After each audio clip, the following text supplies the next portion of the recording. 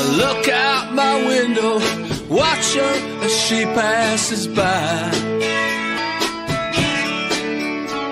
I say to myself, I'm such a lucky guy. To have a girl like her is a dream.